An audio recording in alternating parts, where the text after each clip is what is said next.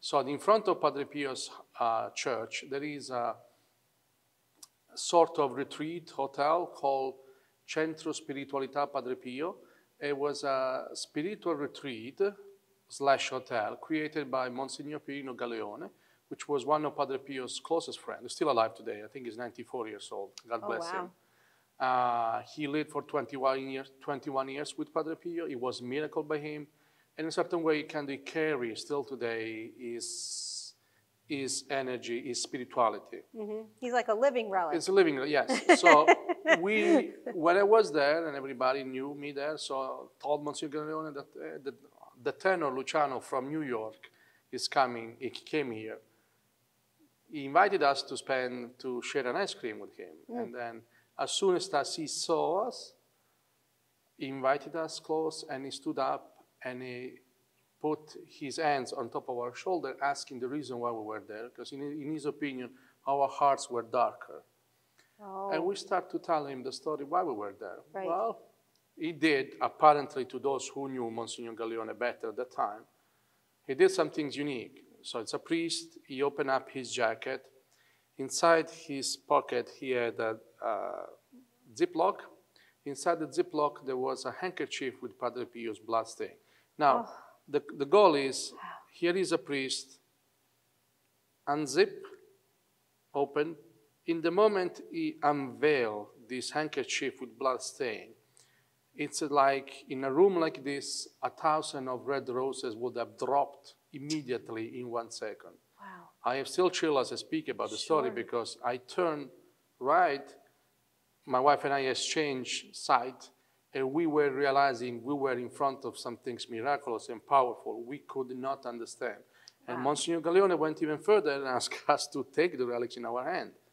Oh. And I, yes, I knew Padre Pio, but I never went so close. I went there because I needed him.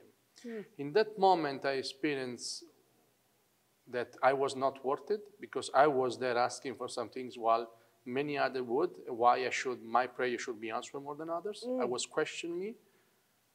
But then Monsignor Galeone told me, Luciano, you don't realize yet, but you will be one of the greatest advocates of Padre Pio in America. Oh, wow. Now, I still my career is important, but I would never thought about that. And then, no, Monsieur Galeone, a very important man. So he was one of the three witnesses that started the canonization process about Padre Pio in, in his diocese. Celebrated Mass with John Paul II. Wow. Um, took a book and wrote to the boy that will come into your lives. So while the doctors have said clearly that we were going to have probably no boy, no, no, no children's, Right. here this man wrote, not a girl, wrote a boy. Huh. You know, you close up, you say thank God, and then you go. We were shaken by the experience, but we never realized what we experienced at the time. I went back there many times when in 2013 I found myself on a road where I was asked by uh, some friars from Italy to sponsor a few events about Padre Pio. And then I thought, oh, this is interesting because I want to get closer, but also to let people know about him together with me. And after that, everything started. Of course, we were continuing being in a journey, and we never were able to know. We had experienced several other miscarriages, and we know that we were there, on, there were no other other ways, and you know, uh, doctors were bombarding you with all other possibilities, which we, natural first and Catholic second, we could not accept. Right. But the time was ticking, using my wife's wording. And then it was my birthday on August 11, 2004, uh, August 11, 2014. So I found the foundation April 4, 2014, and I thought this was my sign for Padre Pio, just because I was getting close to him to know him who he was, Sure. and really wanted for people to know him deeply. And then I pray intensively to him on my birthday. Please don't let me be a sinner. A sinner because I believed if we were not going to have children, we have to go to experience things that not only our Catholic Church mm. will not allow, but we were out of despair. Right. And sometimes you do act of despair mm-hmm. when, you, when you're not expecting. Well, 22nd December 2014, my wife woke, wake up and tell me that she's pregnant. Now, mm. She was pregnant before, but we know she was losing every time. Mm. Don't tell me how. That time, we just watch ourselves in our eyes. Again, we experienced what we experienced before. We felt a kind of spirituality. And we know it was going to be true. In fact, Sebastian was born 2015. Wow. It is our only son, not that because we didn't want it. It just uh, can we make peace in our mind, in our heart, because can we were predicted, but also because we know that the miracle happened. It's just Sure. people might say it's a small miracle, definitely, a small miracle being parent, because otherwise I would have not have the joy of being a father. Mm-hmm. The way Sebastian is growing, the way we see the family united, I think there is a great miracle there, especially in being persistent. you Sure. know. For me, it's been a journey of growth mm-hmm. since I, I came from the same country. My mother brought me in pilgrimage every year when we were passing by. Every year we go to San Giovanni Rotondo to the, to the sanctuary of San Michael because they are mm. close by, and then return back home. And then you discover that you detach because you grow up and you get into a career and then travels, and then you go back to your root, but even more to getting close to Padre Pio than I never thought I would. Mm.